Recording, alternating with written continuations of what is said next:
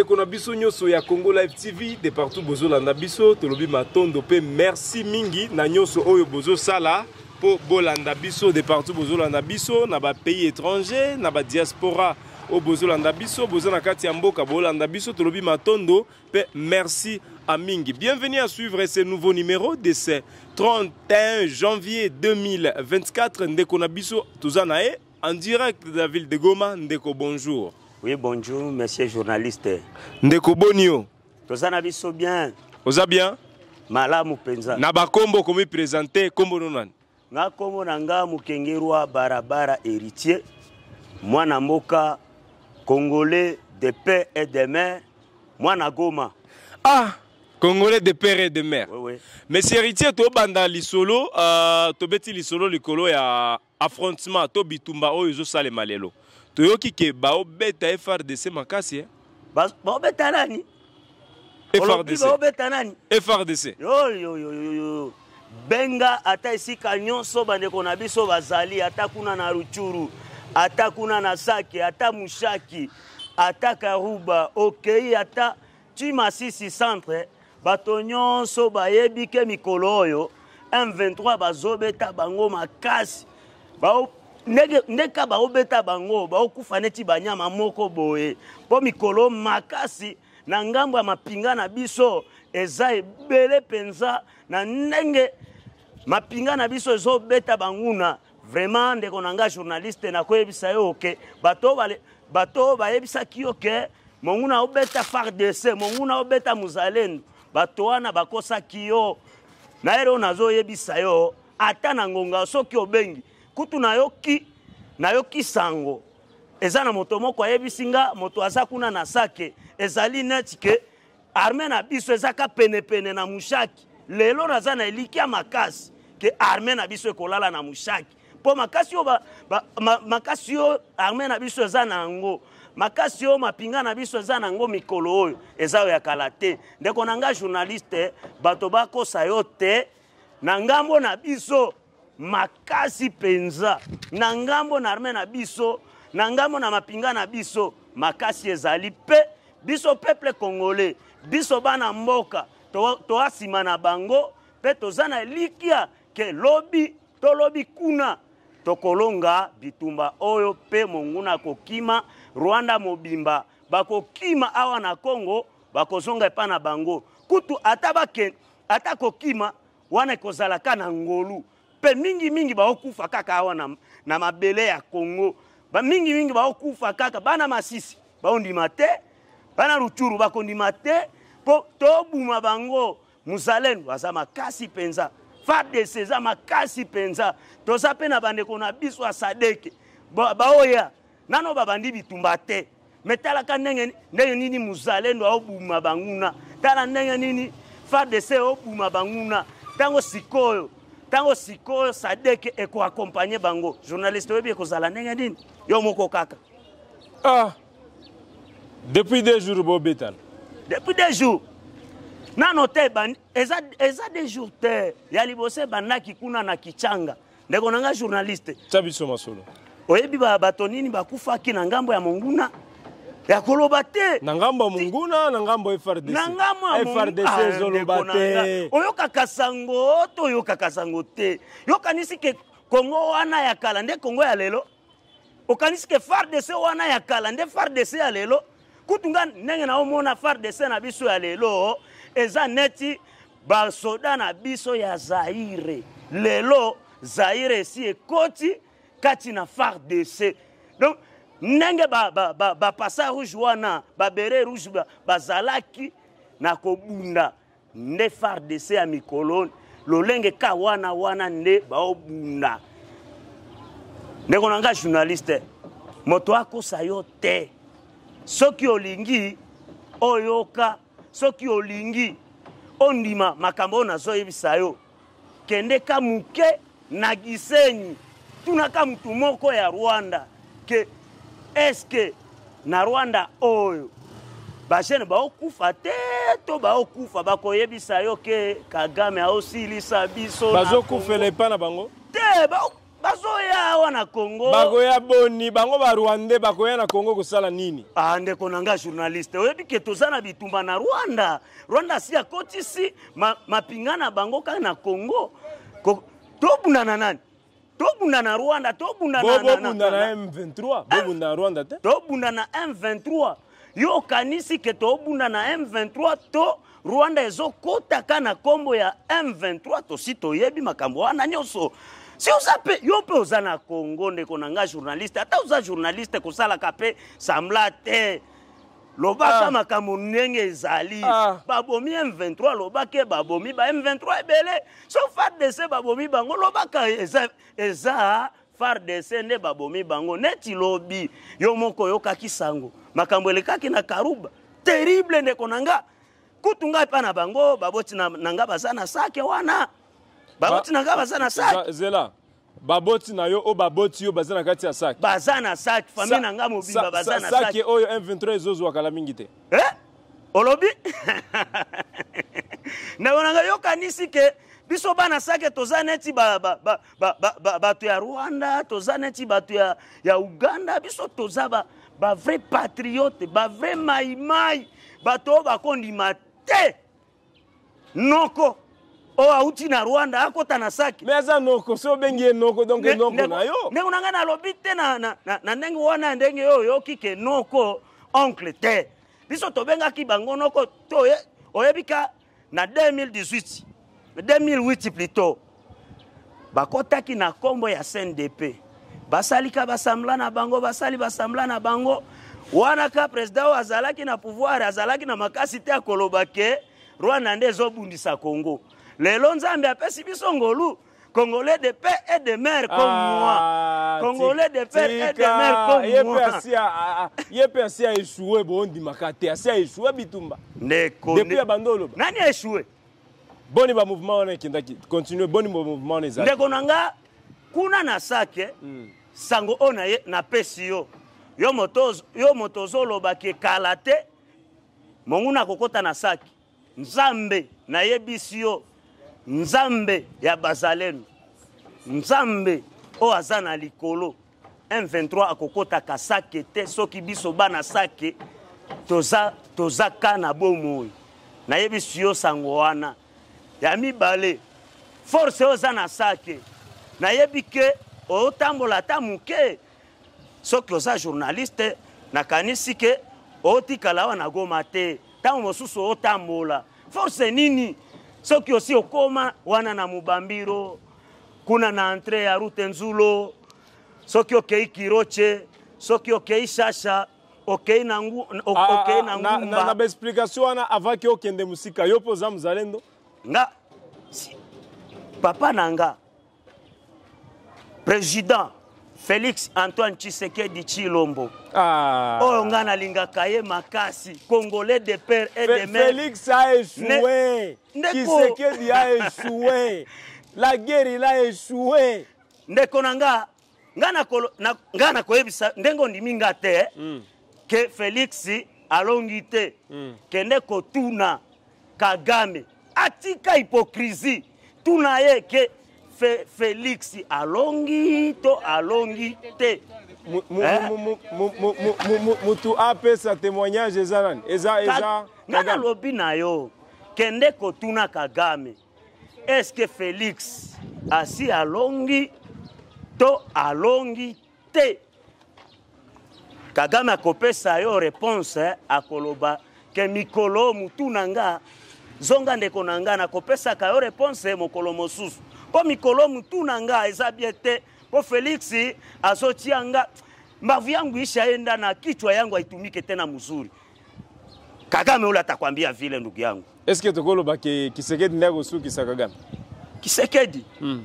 nga nayebi te eloko nga nakoloba ke Kisekedi ye moko te mpe kokanisa te ke Kisekedi bato nyonso bayini ye Kisekedi mpe aza na bandeko na, na ye bahomologue na ye nga naza na elikya mingimingi na ndeko na biso President ya Burundi ndenge basi basa. General Neva Ndaishimie. Merci. Avec le président du Burundi na ya Tanzanie mm. na ba oyo nyonso baza sima na bango kala mingi te Kagame na kibobange na ye neti asi akomi mobange mais aondima te ke asi akomi mobange me suka na ye kala mingi te nayebisi yo journaliste kala mingi te sango ya kagame ekozala neti sango ya farao a l'egypte ndenge israel Nzambe na bango asalaki Farao. Ndenge wana nde Kagame akosila. Kala hmm. mingi te.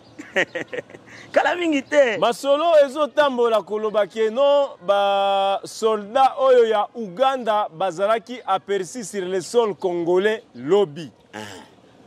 est ce que uganda eza na makambo ya m23 uganda ndeko na nga balobi que no batindaki basoda na bango koya kosoutenir m23 basoldat ougandais ont été aperçus sur le sol congolais est ce que ouganda eza na makambo wana eza ya liboso te eza mbala ya mibale te eza mpe mbala ya suka te ata tosala mwa sambla mpo soki olingi obeta moto oyo ozoluka okendaka koluka makambo mosusu libanda te olukaka ka moto wana ozoluka osilisa ye mpo ntango okosilisa ye na baoyo nyonso baza nsima na ye bakoya kokima ndeko na ngai ah, biso wana eza lisese wana eza vraiment lisese okotili na kati si mwana goma congolais de pere de mer biso tozalaka bayuma te ndeko na ngai nakoyebisa yo nakoyebisa yo boye eza mbala liboso te ya mibale te mpe ya suka te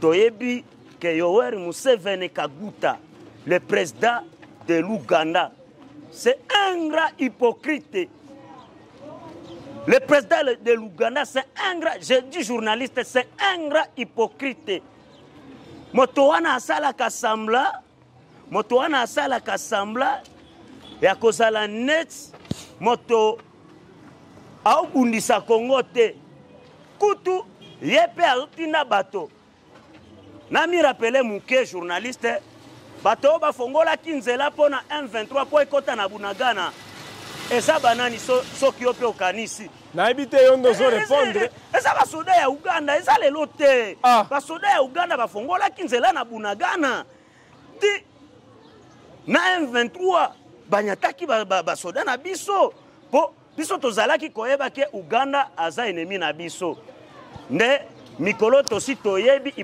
hypocrisie ya uganda uganda basoda wana nakoyebisa bango qu'il soit le bienvenu parce que mabele na biso mabele na ba, mabele ya bakoko na biso mboleo itakuwa pale ya mingi le drone ekoboma bango mais, mais, mais, mais si, ba... si, si, si tel réel pourquoi est ce que bozolobela uganda te bozoagresse kaka rwanda ndeko na nga ozoloba kaka kagame kagame kagame mais soki mokonzi ya uganda ye mpe aza na makambo boni bozolobela ye te est ce que félix azobanga ye mpo totika koyoka ata mokolo moko te alobi ye ndeko na nga nakoyebisa yo ke félix abangaka moto te nayebisaki yo nini ntango opesi nga question wana ke baugande baokota na congo nalobi na yo boye soki naobunda na yo Soki nalingi nalonga yo, nakokende koluka makambo, makambo mosusu kuna libanda te. Naluki kaka yo moko. Ntango nakolonga yo, baoyo nyonso baza nsima na yo bakosala nini? Si bakokima, bakokima. Tobanga, tobanga Museveni te. Toyebi ka promoteur eza Monsieur Paul Kagame mobange oyo alingi akufa kala mingi te. Mobali ya tembe. Mobali ya tembe.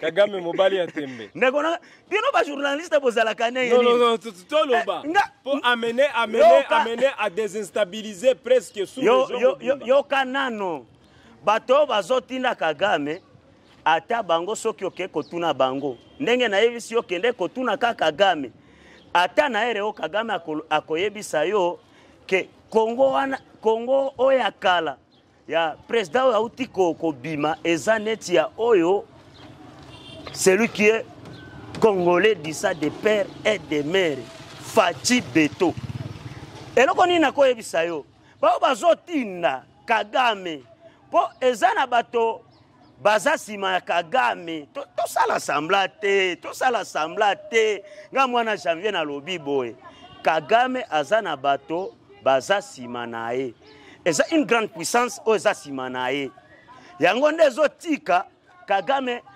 kagame amibeta tolo me nakoyebisa na, na yo boye kagame soki aokanisaki akolonga mpo eza na moto aza nsima na ye wana aomikosa tokondima biso bakongole ti moto ya suka akufa nde tondima ata 1 metre ya mabele na biso ekende na kati ya site ya saki olobi baboti no baza na kati ya site boye nani azobeta babombo wana ezokweya na kati ya saki ebumi bacivile eza frdc ndeko na nga yo moko oyebi ka ba m23 ntango parce que m23 ewangani ke eza yango te nde ezobeta babombe ni ya mushaki ni ya ailleurs eza frdc nde ezobeta babombe yo oyebisi biso ke no baboti baza na kati ya saki réalité eza nini banani bazobeta babombe na kati ya site ya saki ok avant na répondre journaliste nakotuna okamwa motuna soki bakuti yo obomi moto baagent de l'ordre baye batuni yo mpe bayebisi yo yo nde obomi moto oyo okondima to okoboya te kozwa nga temoin te ah, ok wana nde esika nazokende merci mpo opesi nga réponse te mais na monoko na nga maloba eza ebele mpo nga nasepeli makasi ndenge m23 lobi bakufaki nga nakomaki nga nakomaki na esika babengaka makafe otiki obimi saki okei rutobogo rutoboge rutobogo omati moke wana deja dans le territoire ya masisi wana wana ka nakomaki wana lobi penepene penepene avant okota, okota mushaki kuna Ntango kaka nayokaki sango wana, bandeko na nga bazalendu neti nga bamonisaki nga bafoto neti baobuma bango. Ntango kaka namoni na, na ka bafoto wana ya, bimbe, ya bibembe wana nalobaki si basila ata bango nyonso ndeko na nga ndeko na nga bato oyo baolarge babombe na site ya sake mpo bato wana baobanga bato ya sake bakanisi na bamama baza ba maimai eza km23 dieda lobi tomonaki soko ekendaki kuna eneutralise arme wana ezalaki kolarge babombe na, na, na mboka ya sake lelo ndenge na oyo kasango ndenge papa na ngai ayebisi nga ke lelo bamoni ata bombe moko ekwe na mboka ya sake me eza km23 nde ezalaki kolarge babombe na mboka ya sake mpo bango baobanga ni fardc baobanga muzalendu baobanga na population nyonso wana asaki baoloba bango ke baza bazalendu est-ce que c'est eh. vrai ba population asaki baza bazalendu boye président ye moko muzalendu ah, bana asaki balingi mingi fati beto bana asaki ndeko soki ka okei ka ata oza journaliste ah. okomi ka wana na sake Olobi Fatshi mabe. Okolia mabanga. Kutu soki soki soki soki exagere. Okokanisa ke omoni moto aza civile. Abimi na monduki wana wana ka yo moko kobana nde ko, ko, ko, kolenga C'est-à-dire eh? la, la, la, population de la cité de Sake soutiennent vraiment Félix na idée na ye ya kobeta M23. Vraiment à 100%. la population de SAC... et à ya M23 M23 t la population de SAC soutient l'engagement de Félix quête et sa parole de dire on ne négociera jamais avec les Rwandais ainsi que leurs alliés hein. M23. C'est ça notre parole. La, la population de Sac. ah oui oui ah hein? makambo ezali ebele penza vraiment ata soki tobandi koloba na heure oyo opesi nga ata ezala ata ata 18 heures makambo ya koloba ekozanga te mpona naosepela makasi neti neti tozobuma tozobuma banoko batusi ya kouta kuna na rwanda tobuma bango neti banyama e ndeko na nga Ah, danger motu na ngai tosilisa na message moko mpo na ba frdc mapinga ya ekolo na message moko mpo na président de la république félix antoine tshisekedi eloko nakoloba mpo na président na biso faci oyo ngai na, nalobaka beto oyo ngai nasi natie sake moko ya nsima na kampagne na ye natiaki sac moko ya sima mpo azala vrai beto ya kobeta kagame na rwanda mobimba ah. nalobi merci merci mpo ntango nayokaki mpe lobi olobaki ke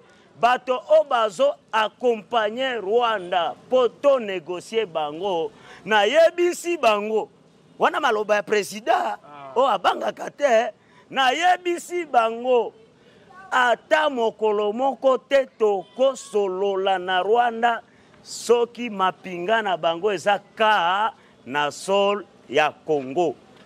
Nalobi Fachi Beto umela seko na seko bokonzi oza mokonzi munene oyo a mérité un président qui mérite à sa place donc kombo wana alati yango Felix Antoine Tshisekedi Chilombo Libumu. On, on, on, finit, on, on finit avec un message pour le FRDC. message monene oyo nakopesa bandeko na biso ba fardc ndeko na ngai journaliste obosana bazalenu no tia nanu message mpo na ba fardc message monene oza mozalendo me tia nanu message mpo na nakopesa fardc fardc mapinga makasi qui prend la huitième place dans l'Afrique. Mm. Tolobi, matondo mingi, merci mingi, na musala obino bozo sala. Bato bazoloba ke bino boyebi kosala te. Bakende ka pene pene ya bitumba bakende bakende sake bamona makambo bino bozosalela m23 ah. bandima yango ndeko na ngai tondimi yango ndeko na ngai bozosala ndeko na ngai tobosana bawazalendu te tia message moko mpo na bawazalendu pour comme ba... ça tous les, tous les, tous, tous les gens se trouvant au diaspora à kinshasa lubumbashi partout bazolanda biso na kati ya ville ya goma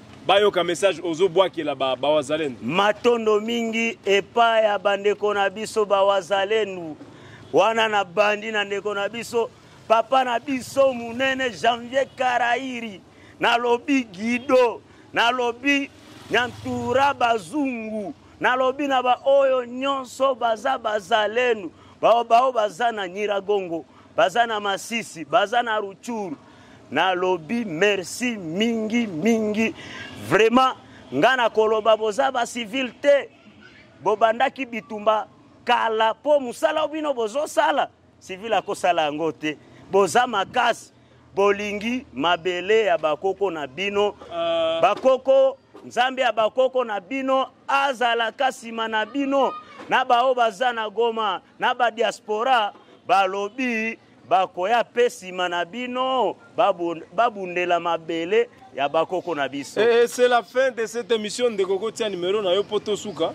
Numéro na nga naza na plus 243 97 86 67 281 Mesdames et messieurs, c'est la fin de cette émission sur Congo Live TV. De partout où vous nous suivez, nous vous disons merci de nous avoir suivis. Merci de nous avoir choisis. D'ailleurs, nous disons un grand merci en direct de la ville de Goma sur Congo Live TV. C'est la fin de Gonabiso Tolobi Maton Domingue Merci à la prochaine pour un nouveau numéro. Merci Ndekonanga journaliste.